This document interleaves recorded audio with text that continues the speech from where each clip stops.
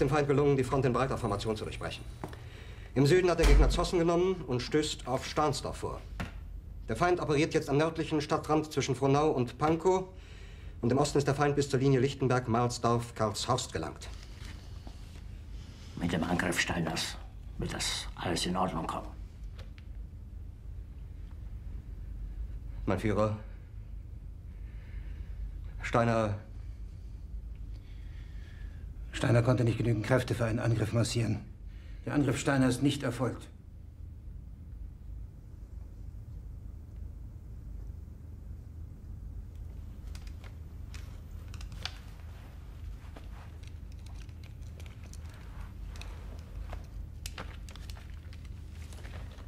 Es bleiben im Raum Keitel, Jodl, Krebs und Burgdorf.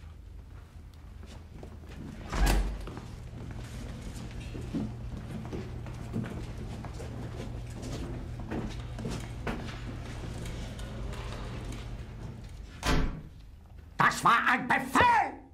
Der Angriff Steiners war ein Befehl! Wer sind Sie, dass Sie es wagen, sich meinen Befehl zu widersetzen? So weit ist das also gekommen. Das Militär hat mich belogen! Jeder hat mich belogen, sogar die SS! Die gesamte Generalität ist nichts weiter als ein Haufen niederträchtiger, treuloser Feiglinge! Mein Führer, ich kann nicht zulassen, dass die Soldaten, die für Sie verbringen... Nicht Feiglinge! Verreiter, Versager! Mein Führer, was Sie da sagen, ist ungeheuerlich. Die Generalität ist das Geschmeiß des deutschen Volkes! Sie ist ohne Ehre! Sie nennen sich Generale, weil Sie Jahre auf Militärakademien zugebracht haben, nur um zu lernen, wie man Messer und Gabel hält!